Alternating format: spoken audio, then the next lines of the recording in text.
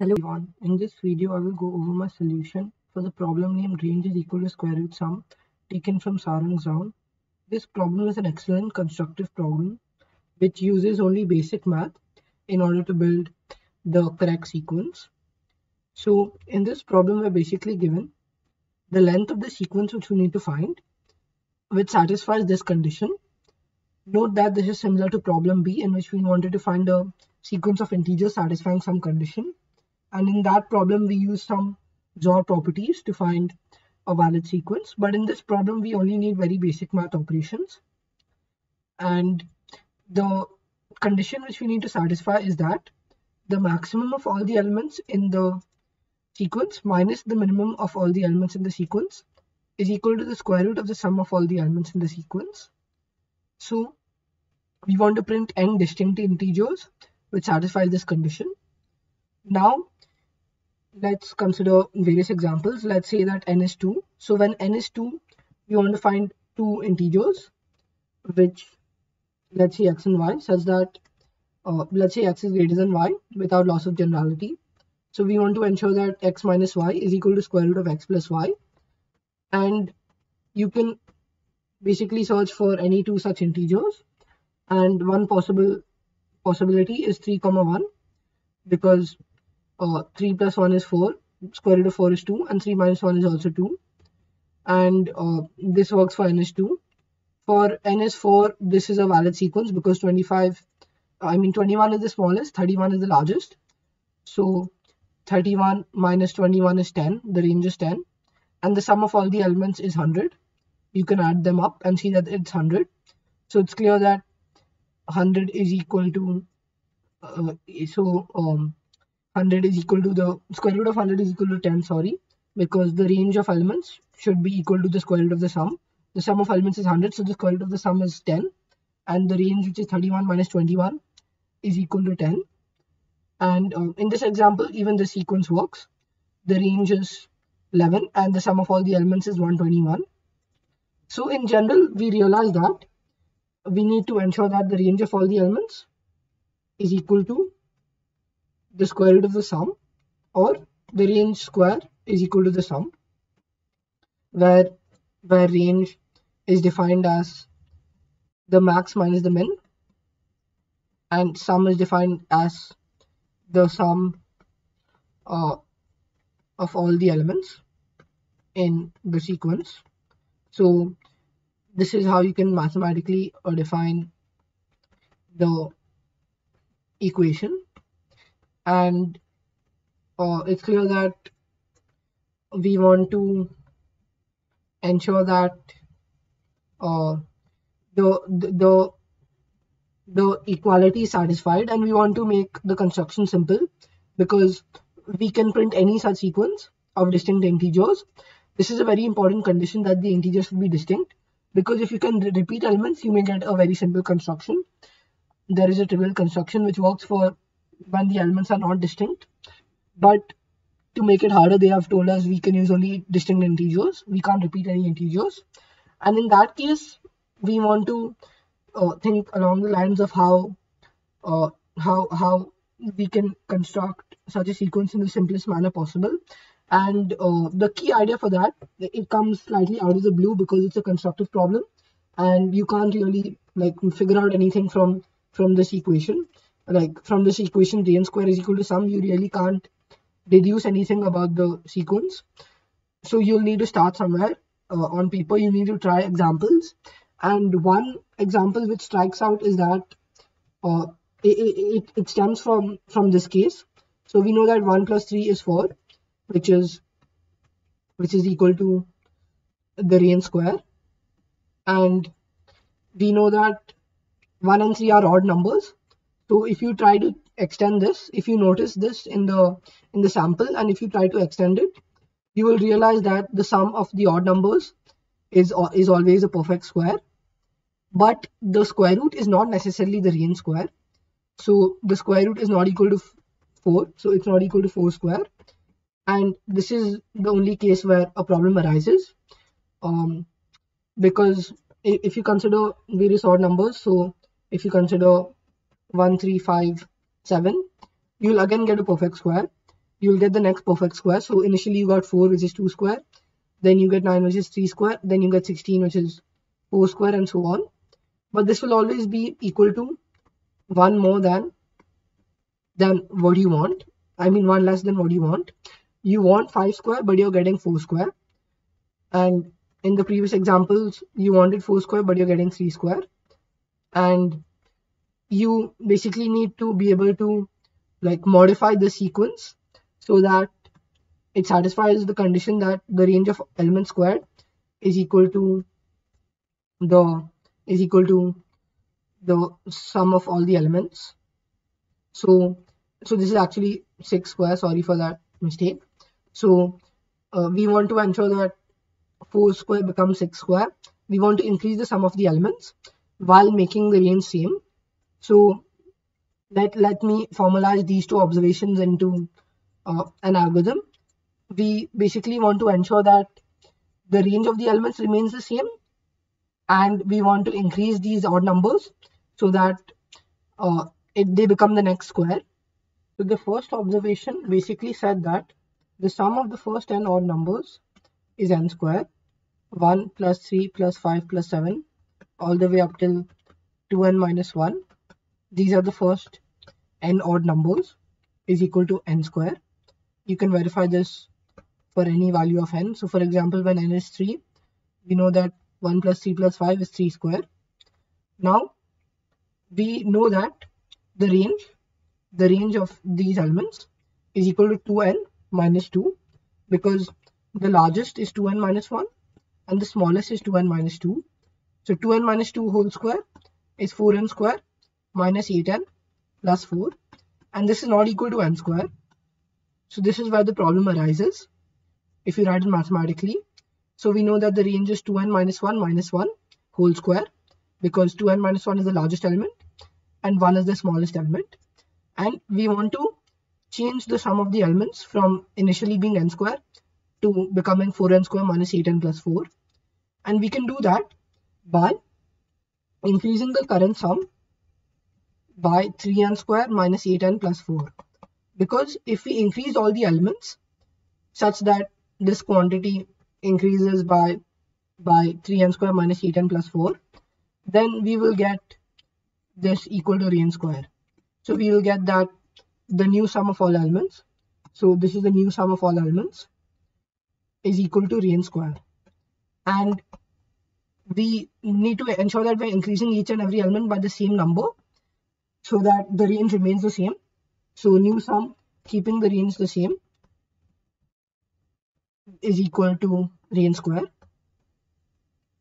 So that's why we know that um, if we want to increase the total sum by 3n square minus 8n plus 4, we'll need to increase every number by some some value. So let's divide. So let's divide. Let, let's say that we want to increase each number by 3n square minus 8n plus 4 divided by n. Because if we do this for n numbers we will get the desired sum which we want. And that's why if we want to increase each number by by this quantity if we increase each number by this quantity we know that the new sum will be equal to n square and we just print this new array which which which, which is the incremented version of the odd numbers. And um, it's it's clear from from this uh, expression that this this need not be an integer. So so we have a problem. Um, we know that 3n square minus 8n is going to be fine. So if you take 3n square minus 8n out, this is fine. This is an integer. But this 4 by n thing is not an integer. So we'll need to take out the 4 common and we will need to increase 4 elements. So, so increase some elements increase some elements. So increase four elements by one each, ensuring that the range remains the same. So we want to ensure that the range remains the same because because we are relying on the fact that the range is 2n minus 2. If the range changes, then then this whole right hand side will change and we'll be we'll be in a big problem uh, notice that everywhere from the very beginning from the initial array which had all odd numbers till the final array which is an incremented array we are ensuring that the range always remains 2n minus 2 whole square. That is the invariant or that is the quantity which is not changing on the right hand side. We are modifying the left hand side. We are modifying the sum of all the elements by increasing each element by some quantity. And we know that we can increase each element by 3n minus 8 so if we increase each element by 3n minus 8 then then then we will so increase increase each number by 3n minus 8 so that so that sum increases by 3n square minus 8n because there are n elements. And this means that the new sum will be equal to the original sum which is n square plus 3n minus 8 which is equal to 4n square minus 8n and we still need to get the plus 4 so we will choose four elements and we'll increase them by one each so that the range remains the same. And how do we do this? We just need to choose four middle elements. If we choose four middle elements then the smallest number doesn't change and the biggest number doesn't change. This means that if you if you uh, choose four middle elements then since the smallest number doesn't change and the largest number doesn't change the range remains the same. And because the range remains the same uh, we can uh, ensure that the right hand side remains the same. And that's why the new sum is equal to 2n minus 2 whole square which is equal to the range square. So if if you uh, didn't follow all the math so far don't worry i'll be explaining it with a small example and then i'll show you the code. So if you take a small example of n is equal to 5 5 or n is equal to 6 uh, let's take some example like that. What i'm saying is start out with the first six odd numbers. Start out with the first six odd numbers. Then increase each odd number increase each number in the sequence by this quantity 3n minus 8 so we know that 3n minus 8 is equal to 10 uh, and increase each number by 10 so you'll get a new array which is 11 13 15 17 and 19 and 21 now in this array we know that the range remains the same. It's equal to 10 square which is 100 but the sum of the elements is not quite 100 it's 96 you can verify this by calculator. You can see that uh, 11 plus 13 plus 15 plus 17 plus 19 plus 21 is 96 which is just 4 less. You can verify that this math works. It's it's exactly 4 less. That's why we want to increase four middle elements by one each. So we'll increase 13 by 1 to make it 14 we'll increase 15 by 1 to make it 16 We'll make this 18 and we'll make this 20 and now we know that the range square is 100 is 10 square which is 100 which is the sum of all the elements. And that's why when n is 6 we can print this sequence the code will actually print the sequence as the output.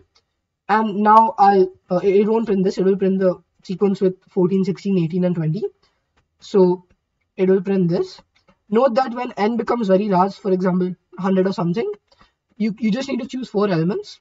So in this case uh so so you, you just need to choose any four elements which are not the extremities. So you can choose the middle four elements or the second element to the fifth element or any any combination which which is easy to code. Uh, and all of them will, ha will will have the same sum of 2n minus 2 whole square which is equal to the range square. The important thing is that you're keeping the range constant by keeping the min and max the same. Keeping the min and max same. So keeping the difference between the min and max constants and uh, now I'll show you the code which implements the same idea. So in the code I need to handle the cases when n is not greater than 4 because uh, when n is 4 or smaller we know that we can't choose four elements uh, for middle elements. We'll we'll be choosing uh, the elements in the extremities. So that's why when n is 2 when n is 3 when n is 4 and even when n is 5 you can print you can handle these separately. You can uh, try out few examples on paper or i think they have given the solutions over here. They have given for 4 5 and 2 so you can easily figure out what is the answer when n is 3 and once you hard code these values you can then uh, use the observation that uh, the sum of the first n odd numbers is n square and you want to increase uh, increase each element by 3n minus 8 so that the sum becomes 4n square minus 8n and then choose four middle elements and increase their uh, values by one each. So once you do that uh, over here once you increase so initially the ith odd number is 2i minus 1 and then you'll increase that number by increase increasing every number by 3n minus 8 will increase the sum by 3n square minus 8n to become 4n square minus 8n and once you have 4n square minus 8n you just choose choose any four convenient non-extreme indices to increase their elements by one each by one each so that the total sum becomes 2n minus 2 whole square. And once you have the total sum equal to 2n minus 2 whole square you can just print print all the elements from 1 to n. And you can move on to the next test case. So i hope you like this problem and my solution. If you have any doubts in any part of the solution do leave them in the comments down below. And if you like this video don't forget to give it a thumbs up. Thank you